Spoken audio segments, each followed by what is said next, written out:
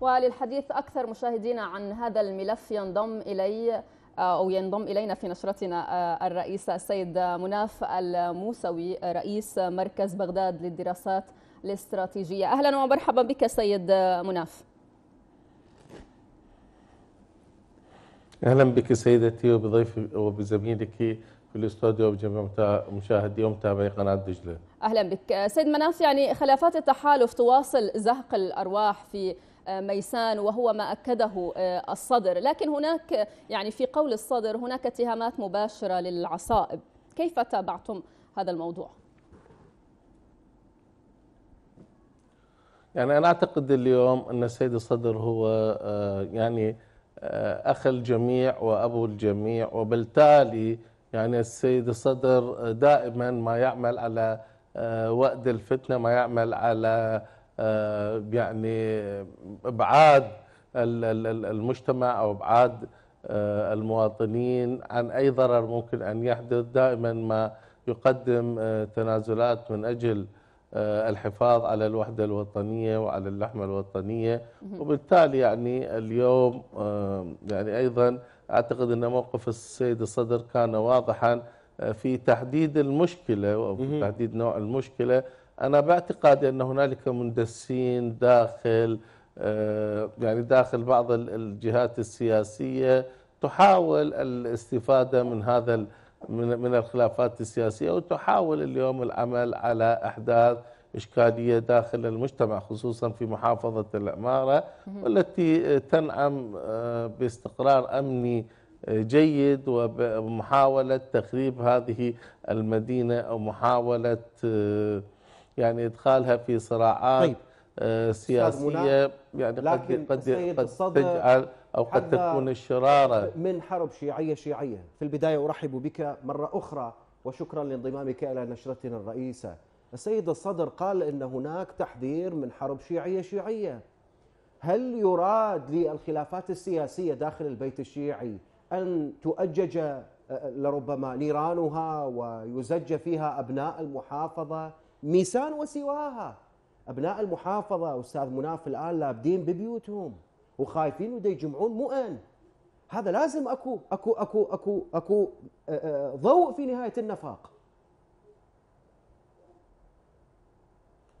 أستاذ خالد يعني الصوت لم يكن واضح لكن مع ذلك أيضا أجدد الترحيب بك مرة أخرى وأقول بالنتيجة نعم يعني بالتأكيد أن هذه الأحداث ربما تكون شرارة خطيرة لبدء حرب شيعية شيعية ويعني بالنتيجة هذه ليس اكتشاف جديد. يعني تعرف هذه المسألة بدأ الحديث عنها من 2016 2017 كان الحديث هنالك عن حدوث يعني صراع شيعي شيعي. وبالتأكيد أنا أقول أن هنالك ربما مندسين يحاولون اليوم يعني خلق بعض الفتن وخلق بعض الإشكاليات وبالتالي أنا أعتقد اليوم أن يعني الخلاص من هذه الإشكالية تتمثل في المشروع أو في البرنامج التحالف الذي قدمه السيد الصدر وبالتالي محاولة جمع السلاح الموجود خارج إطار الدولة والسيطرة عليه وإعادة هيبة الدولة وفرض القانون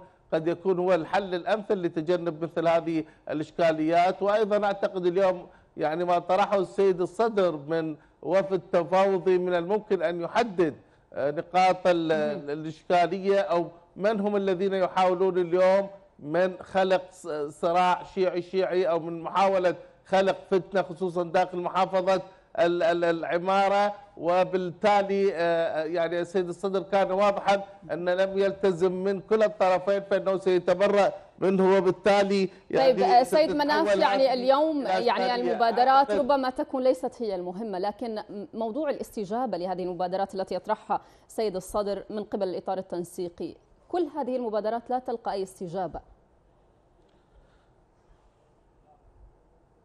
يعني لا لا مو بهذا الشكل يعني. بالنتيجة يعني أعتقد لا الإطار ولا التيار ولا أي من الموجودين اليوم يتحمل يتحمل حدوث إشكالية خطيرة أو يتحمل الذهاب إلى حرب أهلية أهلية لأن الجميع يعني سوف يكوى بنارها. نعم كانت هنالك بعض التهديدات من بعض الشخصيات أو القوى تحدثت عن خلخلة السلم المجتمعي تحدثت عن عدم استقرار البلد ولكن بالنتيجة اليوم أنا أعتقد يعني أن العقلاء أن وجود سماحة السيد الصدر على يعني في في هذا في هذا الوقت قد يكون مفتاح أمان لتجنب مثل هذه الإشكاليات ولاحظنا كيف أن السيد دائما هو من يستوعب هذه الإشكاليات وهو من يقدم وهو من يبادر وهو من يحاول آه، يعني حلحله هذه الإشكاليات وكثير من المشاكل الخطيرة؟ يعني تم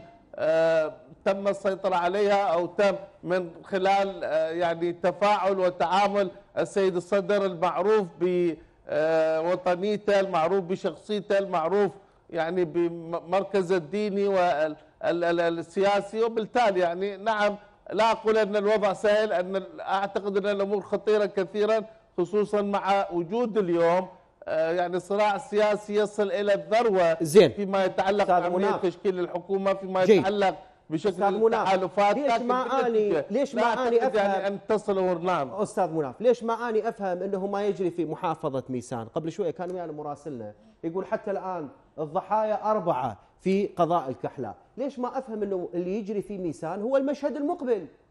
إما أنه نلعب أو نخرب الملعب. واضحة القضية واضحة. كوضوح الشمس في كبد السماء. يعني أستاذ خالد أنا أنا أقول أن وجود العقلاء وجود السيد الصدر وجود الحوزة الدينية وجود العقلاء من السياسيين الزعماء السياسيين الموجودين يعني هم هم من يكون صمام الأمان بالتأكيد. يعني لا لا, لا أختلف معك أن هنالك تهديدات وأن هنالك ضغوطات وأن هنالك محاولات للضغط. وكانت الرسائل واضحة يعني عبر وسائل الإعلام عبر منصات تويتر لكن بالنتيجة هذه الرسائل المخيفة أو من يحاول اليوم أن يستخدم القوة أو يستخدم السلاح في مواجهة المشروع التغييري للتيار الصدري أعتقد أنه لن ينجح. أعتقد أن العراقيين اليوم يستوعبون والله وياك. يعني والله أنا وياك أستاذ مناف. بس المشكلة المشكلة الصراع مو بين مو بين القيادات مو بين العقلاء.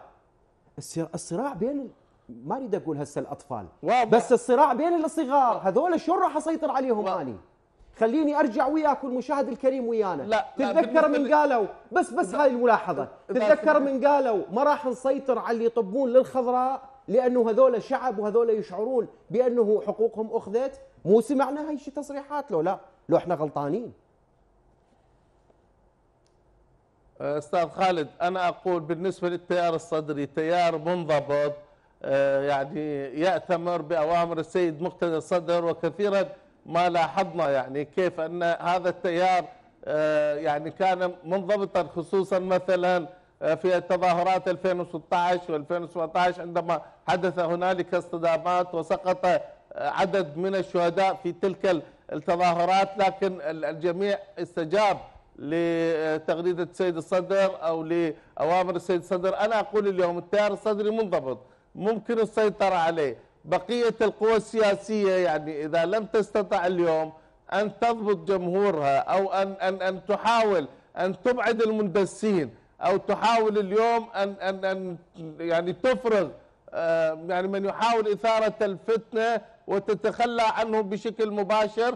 أعتقد أيضا أن هنالك آه، يعني إجراءات من الممكن أن تستخدم. يعني وقال السيد الصدر قال بأني سوف أتبرأ ممن يعني يخرج عن إطار المبادرة التي قدمها أو يخرج عن إطار يعني التعليمات التي قدمها السيد الصدر. بالتالي أنا أضمن التيار الصدري وأقول أنه تيار منضبط ويستمع لما يقوله السيد الصدر ويأتمر بأوامره وأتمنى أن تكون الكتل الأخرى هي أيضا على نفس المستوى من الانضباط. بالنتيجة نحاول أن نتجنب إشكالية خطيرة نحاول أن نتجنب صراعا خطيرا نحاول أن نتجنب حربا آه، شيعية شيعية في مناطق الوسط والجنوب وهنالك من يحاول أن يغذي هذه الحرب.